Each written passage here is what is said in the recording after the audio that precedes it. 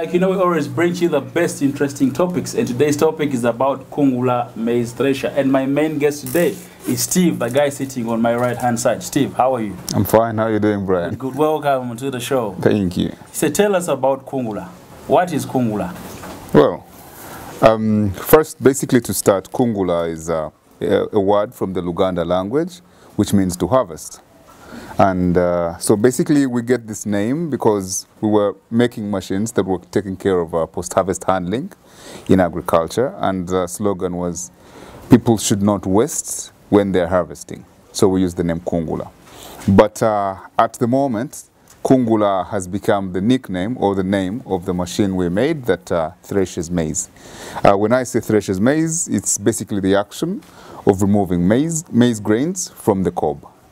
Yes, so when farmers are done with the, when they grow the maize and it is dried in the garden, they get it, they remove it from the husks, then they'll put it in this machine to remove it from the grains. This is an example. This is what the maize grains look like. I don't have a sample of uh, maize on the cob, but yes, that is Kungula. It's a machine that removes maize grains from the cob. Okay, so tell me more about the machine. So basically, um, this machine, like we said, it removes maize grains from the cob, and uh, it came out of the, the need came uh, when you, can, see in front of me, I have two samples of maize. eh? And this is what the original machines on the market used to give.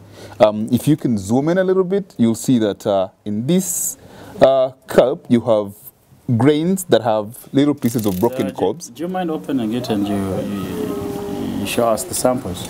Okay. They were bomb. They were bomb. So No, no, no, you can use his hands and you know. basically, this is uh, what happened. ate gwe tuddamu kwogera kuba toli mu show yaffe. This is uh, what comes from, uh, the, this is what people used to get from the machines on the market. Oh, it has, so you'd uh, have pieces of uh, broken cobs, and uh, if you can uh, see at the bottom, there are little pieces of dust in maize, what we call chaff. yes, uh, but chaff. also these are just the lucky people who were able to get these machines. Um, other farmers, well, one they, they used to use their hands.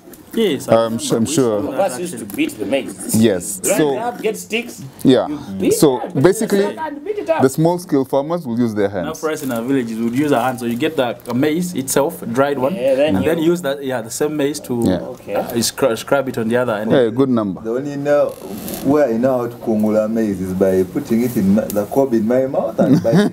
Oh my God, that's how people- So basically, people had three methods. Uh, there's that with the hand, uh, with the mouth. That one I hadn't seen it, but uh, yes. So uh, in the villages, the person will use a knife, get one line off, then remove all the other lines using the hand. Those are the small scale farmers.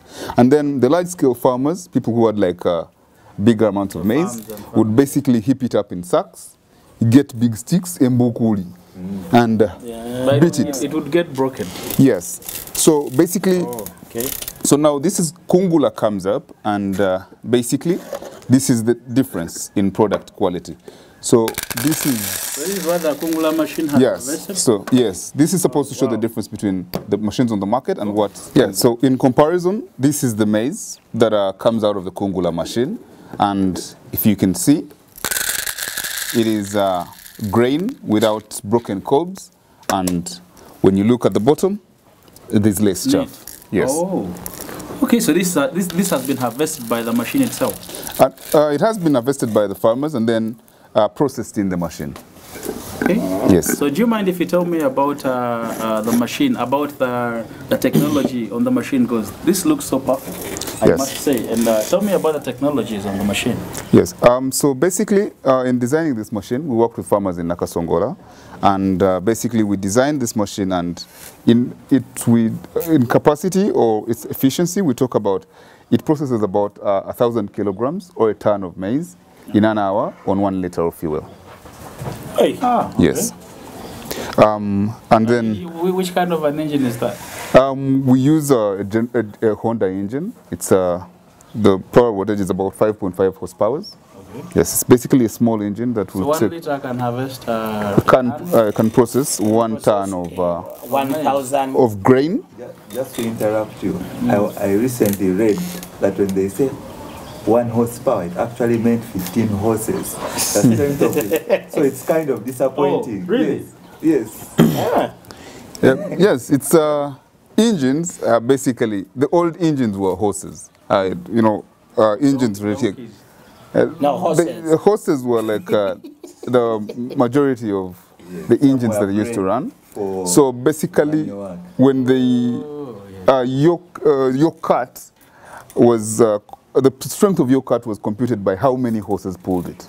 So even when we made engines, uh, we converted that power into That's why we this. get the horse horsepower. Yes. So basically, yes, this the, the machine runs on not five horses, not five and a half horses, but uh, an engine that has the power of about that. Five horses. Oh. Then times 15. About 75 horses. Okay. Okay, thank you so very much. And uh, tell me why why why why do people uh, have to adopt to Congo? Why should people adopt Kungula? Why Kungu? So um, Why is that now basically, in my stick? um, if you were a farmer, yes, if you were a farmer with your stick, um, when we're talking in agriculture, we- we're going to look at uh, the points that we're giving you that are supposed to influence you to move from that. We're talking about one, the efficiency of threshing. Hmm? Okay. you you've grown your maize for three months and now you want to take it to the markets. So off the cob, how many grains do you get off? Um, so Kungula will give you a 99% threshing efficiency. What I mean is uh, in cobs that will make up a ton of grains, you're going to only lose about 10 kilograms. That's 1%. Now in other methods, 10 kilograms off a ton. off a ton. That's 1%. That- yeah. I think Yes, that's so it has a 99% efficiency of threshing. That is, Okay. Yes. with using a stick to hammer. Well, using a stick, break- you break quite using a stick is unpredictable. It's a, you know, No, Yes. the child doesn't get off enough, you beat the child again. and then you get- you get- and then you get 99. so um, the other the other comparison we're going to make is in uh, terms of uh, broken grains. You know, um, when people are threshing, uh, you know, uh, when you get uh, what people are talking about, mycotoxins and uh, all that, uh, had a Aflatoxins. aflatoxins and uh, what the problem we had with Kenya and taking our maize, eh, it usually comes out of fractured grains. So the other kind of efficiency we talk about here is uh, the amount of broken grains within the quantity that you've gotten. So in this case, our ton. So what you're saying, Kenya would take more of our maize if we're using Kungu. Kungula. Definitely. They would be crying for our maize. So guys, there, guys, there So- you have it. Please endeavor to come through and purchase that machine. Let's go. Keep giving it to us. so basically, in terms of broken grains, you're going to have less than 0.5%, less than 5 kilograms in every ton of broken grains. Now, of course, we don't have statistics for uh, the beating maize in the I know some sack. people who want broken, who buy here broken. Well, yes, they do exist, and uh, those ones buy grain and break it. yes, Okay. yes, Okay, thank you very much. And uh, let's talk about, now that we're talking about the machine Yes. and that it is manufactured here, let's talk about the durability and uh, the technicalities. Uh, First, how- the cost. Yeah, okay. yes. Um, so at the moment, uh, the Kungula machine costs 3.6 million. Okay. Yeah, it comes fully equipped. Um, I'm not so much aware about the horse, but a cow will cost about 1.5 million. Yes, horses, I, I don't have horses. So maybe if I may ask, uh, so it comes in one uh, one range, one design, one size. um, yes, so- In our design process, we interacted with a lot of farmers and we basically decided to settle on a, a- a machine that can sort uh, at least the ranges of people. So we decided on uh, 1,000 kilograms per hour. So that is the one of uh, how, how much again? It's, it's 3.6 million. 3.6 million. Yes. That is UGX, not dollars. Eh? Okay, Yes. And then for the farmers that don't have cash in uh, in uh, uh, so don't have like who cannot make one payment. Do you have any payment plans for those farmers that are uh, you know are not financially so much stable? Can they pay in deposit? Do you have any plan? Any payment plan? Um, I mean, in the past, we've tried to do that, but uh, uh, as you run a business, you do learn a few things, and uh, we are not credit collectors.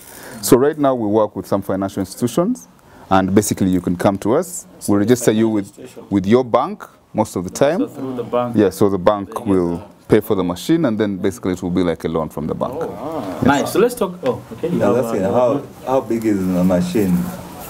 Not what kind of car can carry it. Um, How portable? How Yes. When we were designing this machine, the major mode of transport in villages was, is uh, a boda boda. This is a motorcycle. We, we all know boda boda. So we designed the machine to be able to be uh, uh, put on a motorcycle and then transported to the garden. Actually, that's another plus. So it's very portable. Yes. The. Okay. Mm, So it goes to where the maize is. Yes, we would, uh, it makes So one farmer can use it. And after wait. ship it to the next. Meaning you can uh, collect, uh, you, you can have a group of farmers, yes. buy the machine and then they use it, take it to another guy's farm and, you know, use it and then take it to the... Yes, uh, I mean, ideally, with small, uh, small, small scale farmers, that's the mode we've been encouraging in their circles. Uh, the circle will get it, and then they will take it to keep using- Jukes' farm. After they're done with Jukes' shake maize, they they take it to DMM's farm, they bring it to my farm, Oh. like that. Oh, that's Yes. quite a good one. And so about the maintenance, about yeah, and durability. how regular do you need to do maintenance on that machine? Well, um, it depends on uh, how your machine works.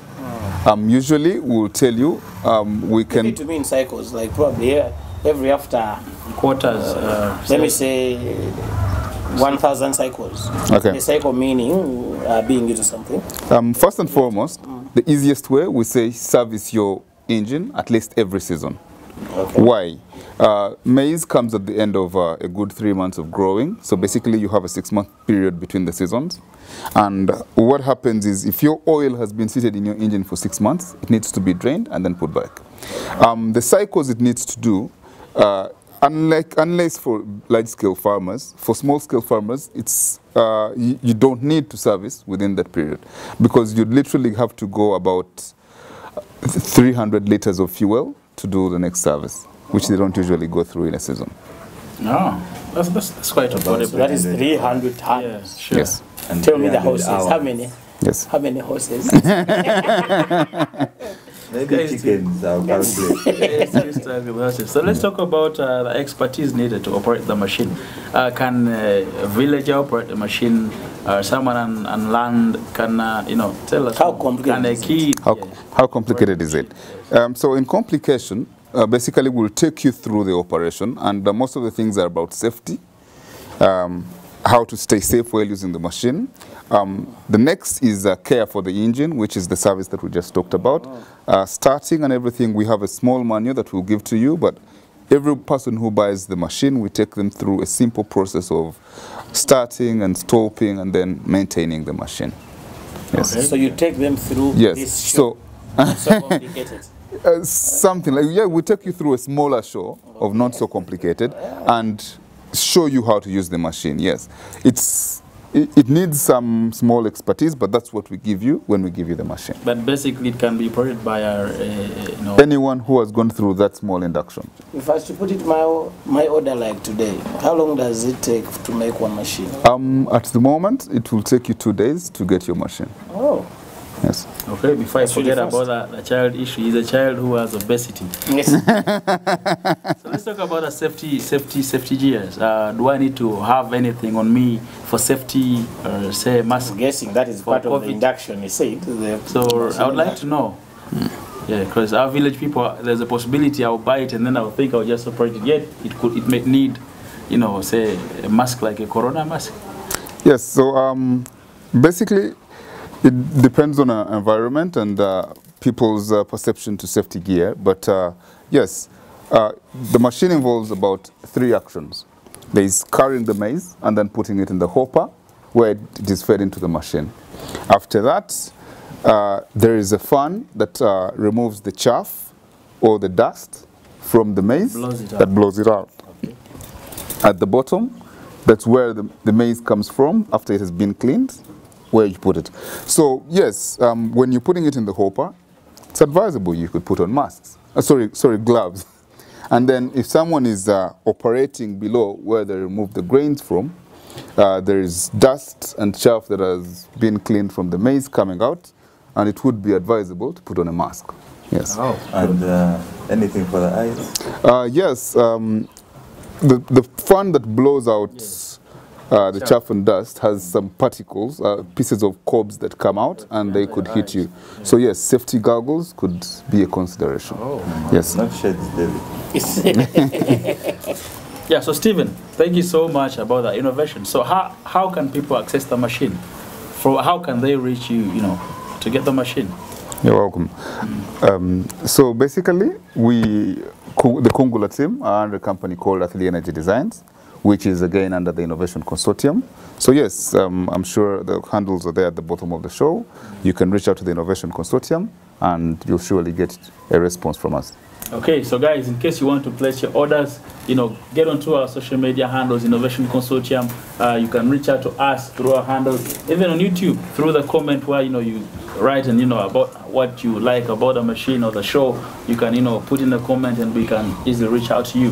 So thank you so very much. And uh, on parting shot, I'd like to get one word or two, uh, you know, about the machine from my, The fun facts. yeah, the fun facts, uh, you know, from my guests. Uh, start with uh, David. I don't have a fun fact, but I had him talk about a hopper. and my mind went to another hopper.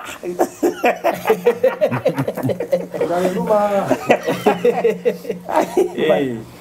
But anyway, Okay. Good innovation. Thank you. Mind you, you know, it's from the Yeah. maize that they get our. So if you can get us good maize, I mean, we are certain, you know, our drink will be perfect and smooth. Okay. Okay, Stephen, one last word, you know, you know, for our viewers. Uh, for me, um, I don't know, maybe And listeners, actually. Maybe, I, I don't know, do the listeners know where the word kasoli comes from? I mean, my grand, uh, kasoli, the name, the name for the maize. Yes. There you go. Oh, no, apparently one Muganda ate maize and I think they died. eh? So, It had aflatoxin. I, I don't know.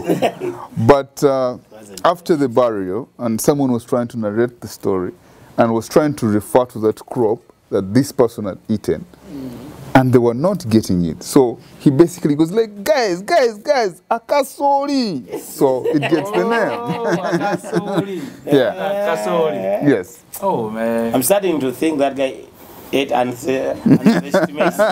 And Kungula Thresh maize. And Kungula Thresh maize. Yeah, thank you so very much ah, for, the, for that fact. And uh, Mr. Jiko? Me, I'm the history buff. So I like reading about it. That the first machine that threshes grain was patented in 1734. So over 200 years, people have had machines. Was that the stick? The stick was patented by the dinosaurs. oh, Adam, whichever one you believe. Most of but not for beating Eve. You don't for violence. Violence free. Mama Kasoli proper. Maybe you should have beaten the snake. Instead of being- yeah, yeah. So flashing has been around for that long. Yeah. So 17? You said 17? 1734. 34. Yeah. How many horsepower did it have? It used horses, horses. probably. I'm not sure, but I think the horse used to be beaten. Yeah, thank you so much, Jix. Uh, you still have more? no, that's it. Oh, okay. Thank you so very much. There you have it. Thank you so much, our viewers, for being on the show. At least today, we got to learn about this new product, Kungula. And please endeavor to check us and follow us on all our social media handles so that you can buy and purchase yourselves, you know, a machine. Our endeavor to like us and follow us on all our social media handles, be it LinkedIn, uh, Twitter, Facebook, Instagram, everywhere at Innovation Consortium. Reach out to us. Let us know what you think about our show, about our innovations, about the products that we talk about. Go onto our YouTube channel at Innovation Consortium. Click on that red button to like and follow us, our show. Endeavor to comment. Let us know what you think about our show, about our programs, about our discussions, and more so about our products. Thank you so much. I've truly been your host, Brian Lyon.